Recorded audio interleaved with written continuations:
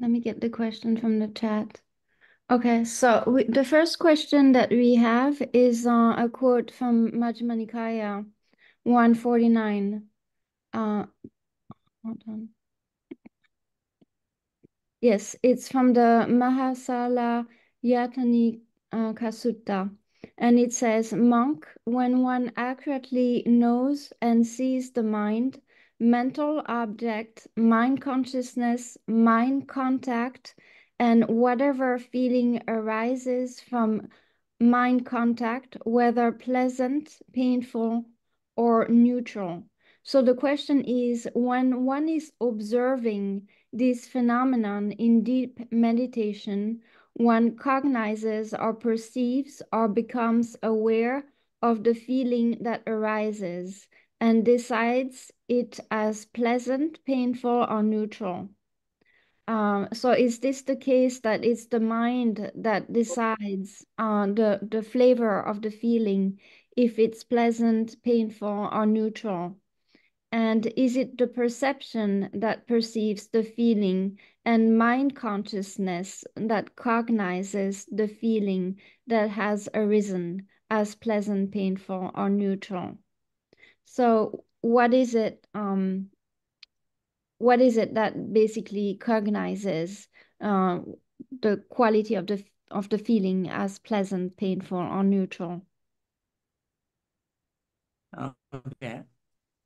Uh, one can uh, become aware of the whole series, uh, but end up in feeling, because that is uh, most uh, dominant, predominant uh, mental factor.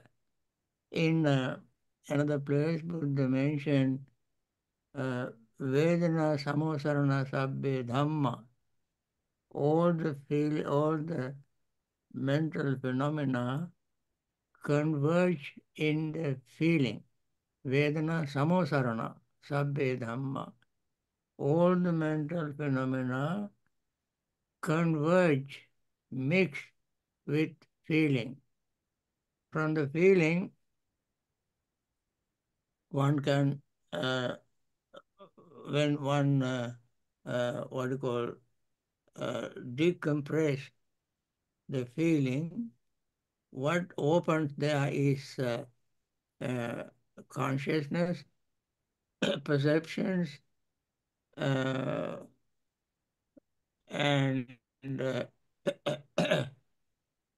uh, contact, uh, all these things will become will become clear. Uh, so uh, this happened when uh, you can see another discourse in uh, also, uh, Sutta number 111, Anupada Sutta, where Venerable Sariputta saw all this, all of them, one by one, arising, remaining, and passing away in, in this order. So, uh, ordinary person who is not as wise as Venerable Sariputta can start noticing the feeling as his uh, object of meditation. And then when the, the person uh, become aware of uh, feeling present, unpresent, or neutral, whichever or whichever of them is more prominent, one start with that, then the person sees the rest of the men mental phenomena occur occurring. So you can your last part of your question is can feeling be taken as mind object? Yes, you can take it. That is why in uh, Satipatthana Sutta we have uh, mindfulness of body and mindfulness feel of feeling and mindfulness of mind and mindfulness of mind object. So feeling you can take as one fourth, one quarter of four foundations of mindfulness. and therefore it is definitely uh, can be taken, it can definitely be taken as an object of meditation, of mind object, as a mind object. Yes. yes, any other question? No, uh, I don't see another one uh, at present in the chat. So maybe we can go over what we discussed yesterday about Hiri, uh, this sense of um, the fear of wrongdoing and keeping more principles. Um, a lot of times uh, there's a confusion between uh, this fear of wrongdoing and guilt uh, people feeling guilty if they've broken a precept or something. Can you um, clarify the difference between the two and um, how to overcome this sense of guilt when one knows uh, that one has done something wrong and that guilt can go into restlessness and worry into meditation? Yes, uh, you know, uh, the one's uh, uh, indebtedness is the is uh, lack of faith, moral shame, moral fear, energy, and mindfulness. When one does not have them, according to the Buddha's teaching, he uses this as a, a simile of having uh, being indebted, indebted, debt to the people.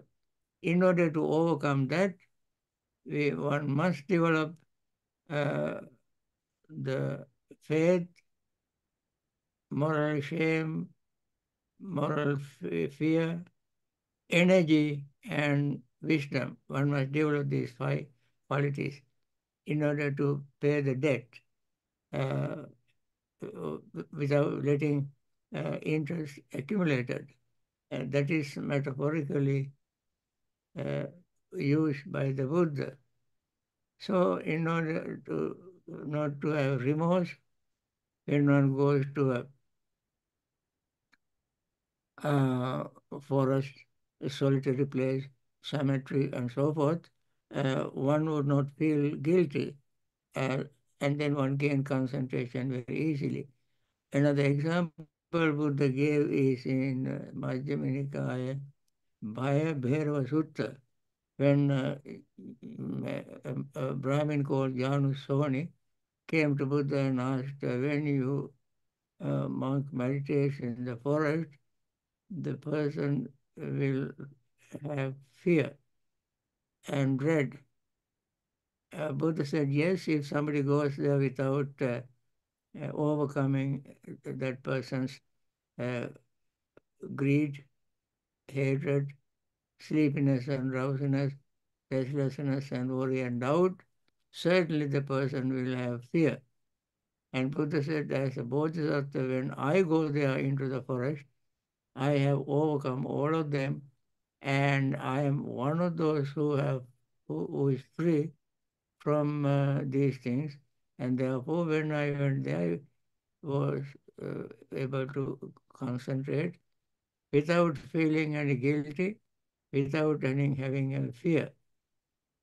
So he had uh, uh, developed this energy, his uh, what you call wisdom, moral shame, moral fear, and uh, uh, faith.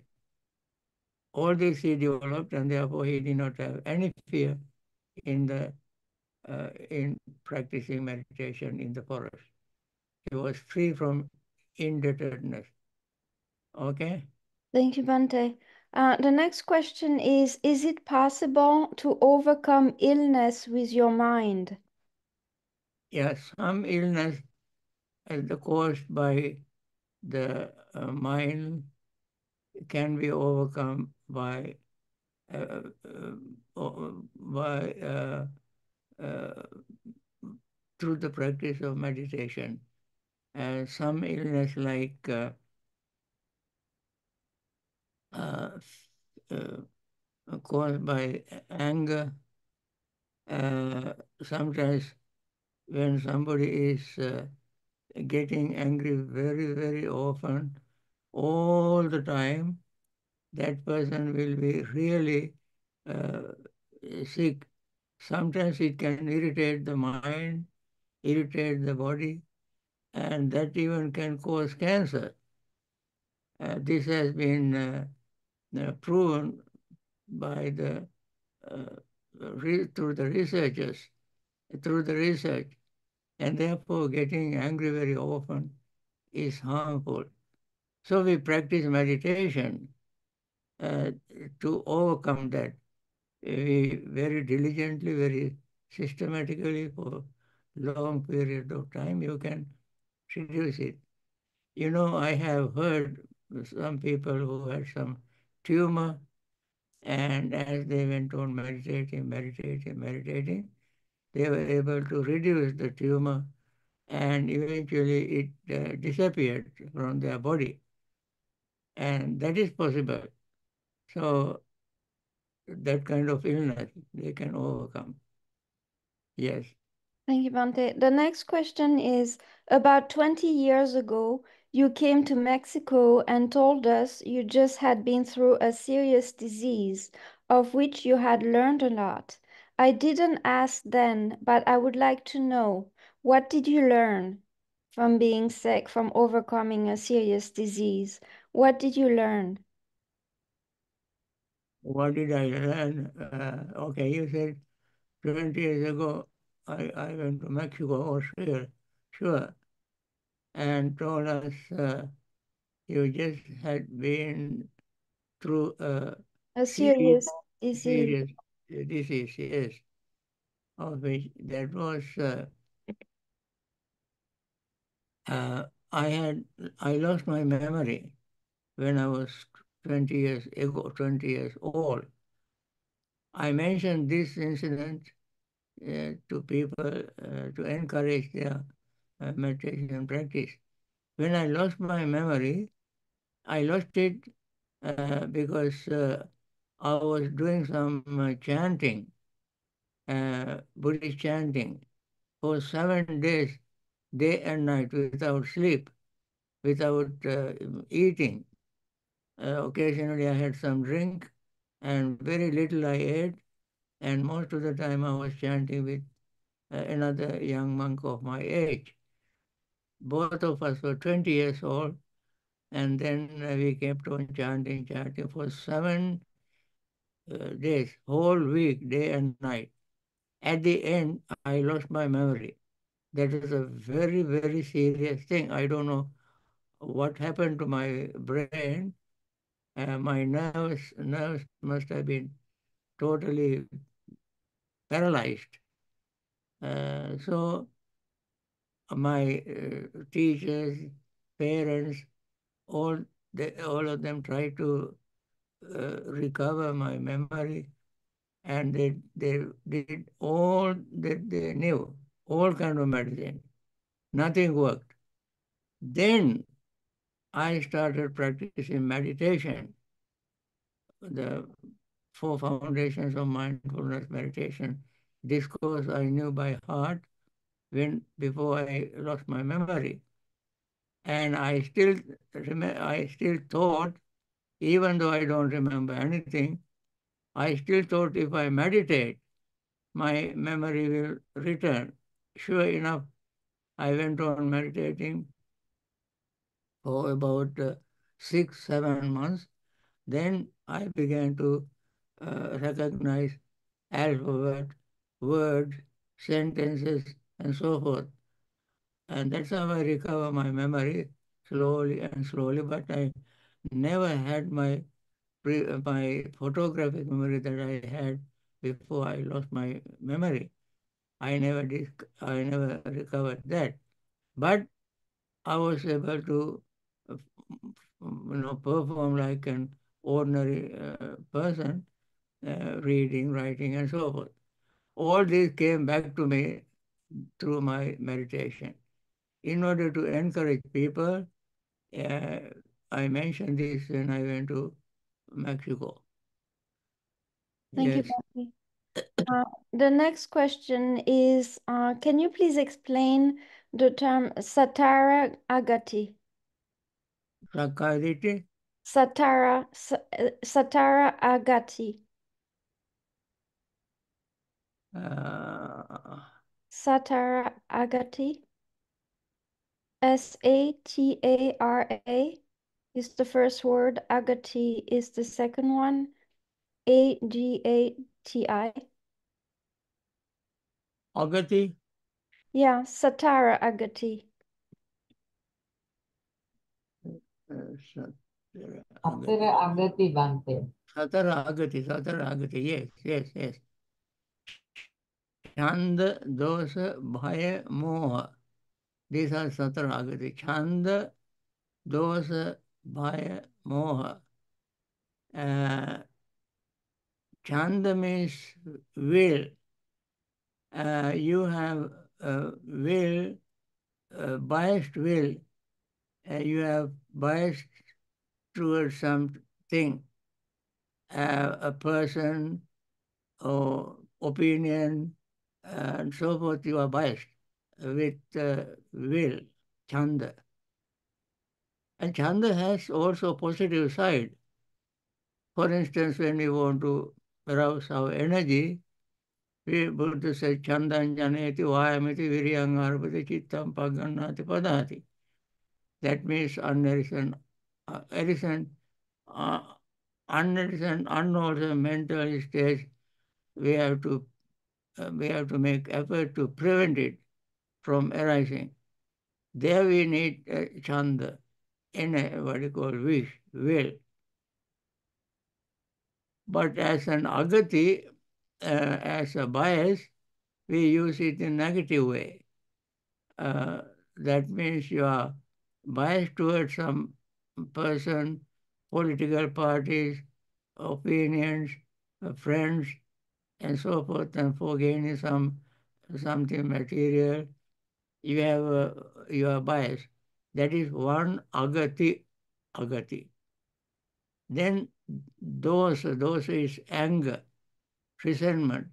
You hate somebody, even the person does something very good, you don't approve it, and you see you find fault in that person because you are angry with that person. That is another another bias. And uh, the third is by out of fear. You you you find that if you tell the truth, uh, you will be punished.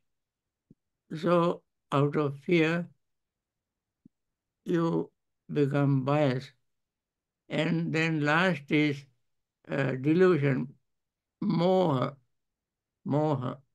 You are confused and therefore you cannot make right decision. So you are biased towards certain things, certain person, certain opinion, and you uh, support that person. That kind of uh, biases is called agati. Then there are four. Satara, satara means four. Okay, next question. The next question is uh, again a, a quote from the sutta. Whatever feeling, whether past, future, or present, internal or external, gross or subtle, low or high, far or near, all feelings are not mine. I am not them, nor are they myself. Thus, it should be correctly seen with wisdom as it is. So the question is, Bhante, can you give some examples for us to understand better what internal feelings, external feelings, subtle feelings, and gross feelings are? Okay. Uh, this passage you feel, you find, especially in uh, uh, Anattalakkhana Sutta. Mm -hmm. In Anattalakkhana Sutta, Buddha said all uh, form, feeling, perception, thought, and consciousness are without self. So, in order to uh, prove that, he used this uh, passage, uh, whatever feeling, whether past, future, present, internal, external, gross or subtle, low or high, far or near, all feelings are not me, mine, I am not them, nor are they myself. Thus it should be seen as they are, as with wisdom, correctly with wisdom as it is. Now, uh, given some example for us to understand better uh, what internal feelings and external feelings, subtle feelings and gross feelings are. Well, internal feeling is your feeling. That you have feeling, at least your feeling, your internal feeling. And once you understand internal feeling, your feeling does not is impermanent, unsatisfactory, without self. And the feeling of others also, anybody's feeling is impermanent, unsatisfactory, and selfless. So internal feeling means your feeling, external feeling is other's feeling.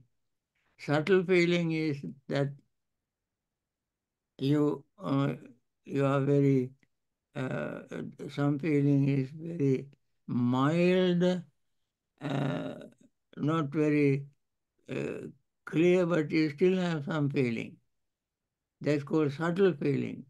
Gross feeling is the feeling of aches, pains, uh, you know, uh, losing somebody you, you loved and uh, having to live with someone who don't you don't like, and this kind of uh, uh, feelings are gross feelings. The subtle feelings are very gentle uh, feelings. And that is how we have to understand these two types of feeling. This this uh, contrast, internal and external, subtle and gross, and so forth. Far, far or near. Uh, far, far or near, yes. Uh, subtle, low or high. Low feeling is uh, uh, you are not so excited. You just have gentle feeling. High feeling is you are excited. Uh, far feeling is uh, feeling that you had uh, in certain place uh, far away from your own. And near is the feeling that you get through the environment around you, uh, very close to your heart, very close to your body, very close you can perceive, perceive it easily. And so this is how we have to make the distinction between these contrasts. Okay? Thank you, Bhante. The next question is, if all five skandhas are not mine, uh, who and what strives to achieve nibbana? So the, the five khandhas, if they're not mine, then who is it that strives to achieve nibbana? And then if all people on the planet achieve nibbana, would that be a good thing? Yes, when all the five, actually, the seeing, all of them are not mine, they are not I, they are not myself. Seeing itself is really seeing, experiencing uh, itself is achieving Nibbana. But the problem is uh, people try to uh, make these five aggregates and uh, uh, work hard to attain Nibbana. They try to separate it. you cannot separate. Uh, you, you, for instance, when your feeling is uh, impermanent, unsatisfactory, and selfless, you don't find any other uh, form which has uh, permanent, uh, without pain and self. So you can, uh, don't try to make a sort of dichotomy. So when you realize that all the aggregates are impermanent, unsatisfactory, and without self, that is that realization That realization. Understanding intellectually is one thing. Understand, understanding uh, with your uh, studies and logics, philosophy, and so forth is one thing. But the realizing is something different. So when we realize, you already realize at the same time Nibbana. So you don't say, don't try to separate it. If all people on the planet attain uh, Nibbana, Yeah, would that be a good thing? yeah, achieve Nibbana, uh, will that be a good thing? Definitely, it is very, very good thing, excellent thing. Then you don't have to worry about anything, anybody, any philosophy, any talk, any politics, anything. don't have to worry. So I wish everybody attain uh, enlightenment. Unfortunately, that doesn't happen. While some people attain Nibbana, others remain in samsara, uh, that is uh, that is happening. So, uh, and if, if everybody attain Nibbana, that's very, very good. Mm. Okay? Thank you, Bhante. Uh, the next question is Does a person who has attained stream entry know about it? Does he know about the, his state? So, if a person and attains stream entry, would they know, oh, I'm a stream stream enterer now? Do they recognize this state, or would it be so natural they wouldn't even know? Surely, you know, when one, it doesn't happen like uh, having a dream or uh, something like that. You strive hard, you work hard, you practice, practice the Noble Eightfold Path again and again and again and again, then you attain stream entry. Uh, so you know it. You know your mm, uh, notion of self is gone, your doubt is gone, uh, your belief in rites and ritual is gone.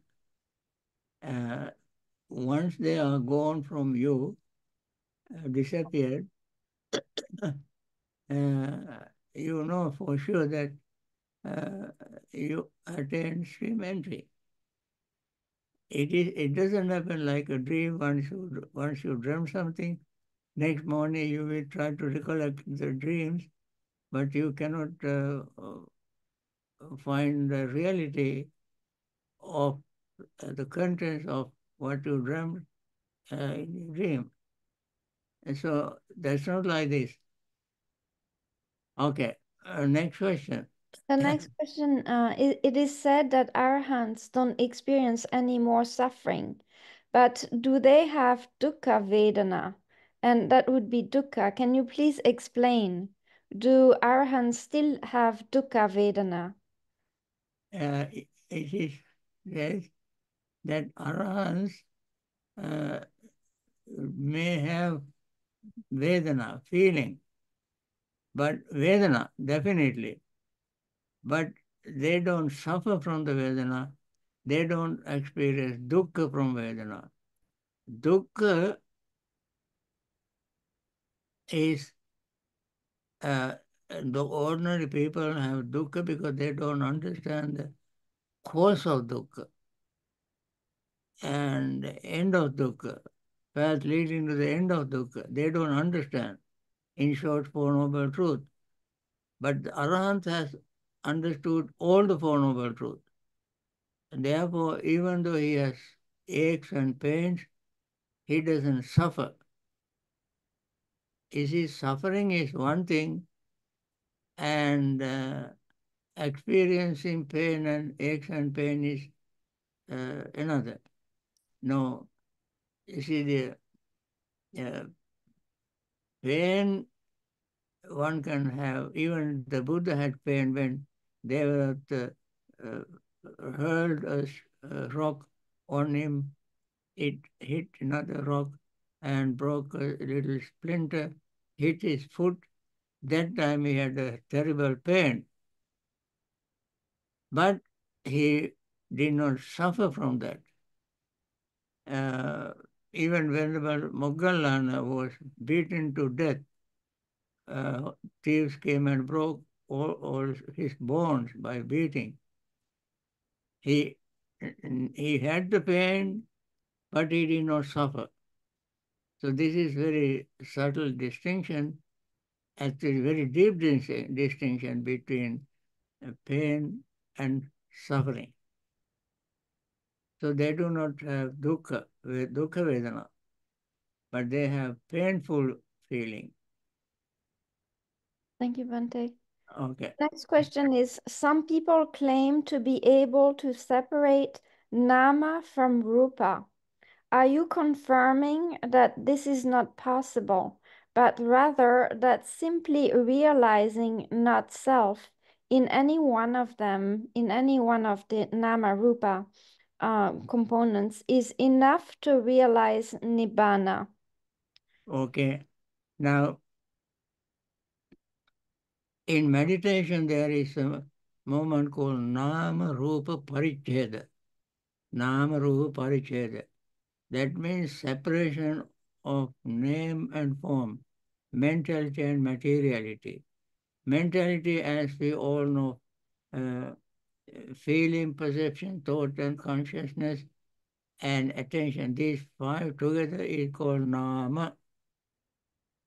And uh, the uh, element made up, the entity made up of element, earth, water, air, fire, these are the elements.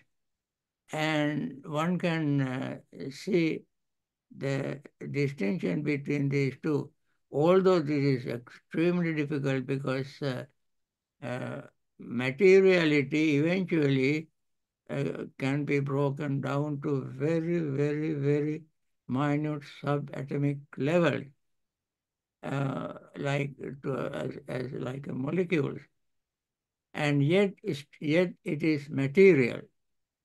Uh, mentality is not anything material in it. That is uh, different, but these two are very close to each other in uh, and when we analyze. But one who meditates, one can see the distinction between these two, mentality and materiality. That is why in meditation this particular term is used, nama rupa paricheda, distinction between name, mentality and materiality. That happens in a very deep uh, mindfulness uh, meditation. Okay, it is possible. Okay, I think we can have one more short question. Okay, the, and then the last question is uh, what can you recommend to prevent or decrease the hindrance of sloth and torpor in one's practice? Okay, I I think we mentioned it several times. Uh, Buddha mentioned Aloka Sanya, perception of bright light. That means one can uh, visualize very, very, very bright light. And I also recommend that if uh, uh, sloth and torpor repeat, uh, first try to uh, open your eyes and roll your eyeballs and uh, close and stand meditating. If that doesn't work, you get up and walk and do walking meditation. If doesn't if that doesn't work, you may wash your face with cold water. The first thing Buddha recommended is visualizing very bright light, aloka sanya. And these are the methods one has to apply to overcome uh, sloth and torpor. Actually, it happens to any meditator, and therefore open your eyes. Anytime you feel sleepy, open your eyes and stay eyes open. And your eyelids become very, very heavy and you are going to fall asleep. Again, determine to take a deep breath and hold it as long as you can. and then breathe out very slowly. Again, take a deep breath and breathe out very, uh, hold it, first hold it, and then breathe out slowly. If you do it several times, your body really warms up and you even perspire, your sleepiness will disappear. I think this much is enough for today's uh, uh, answer. Thank you, And if you have more questions, please write them for the next time. Now let us uh, meditate because we have only about 25 minutes. We need some time for meditation as well. Okay? All right.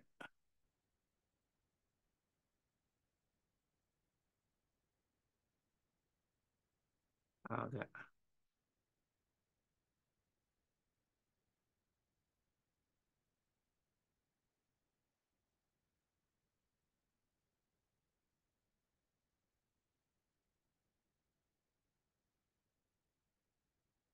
Okay.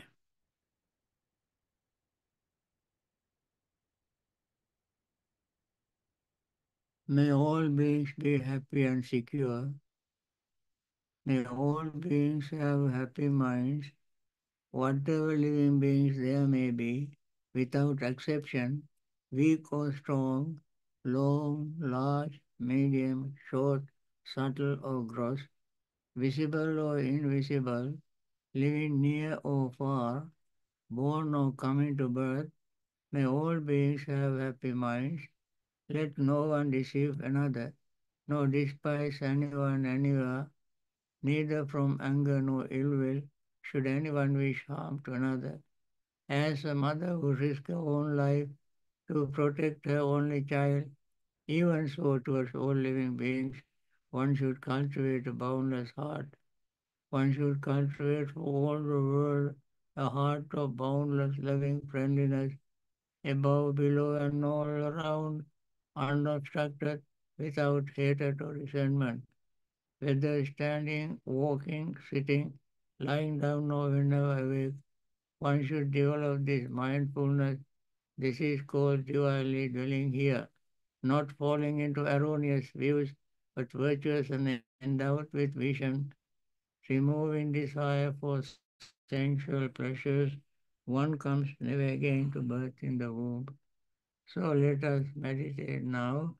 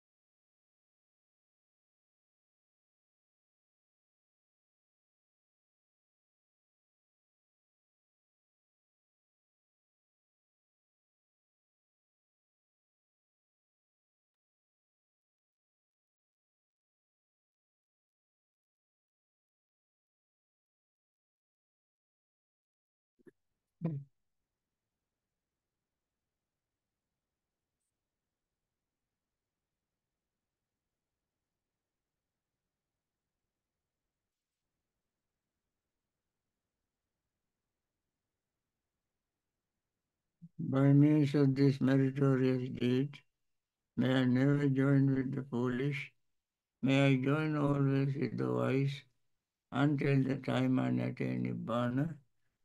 May the suffering be free from suffering, may the fear struck be free from fear, may the grieving be free from grief, so too may all beings be.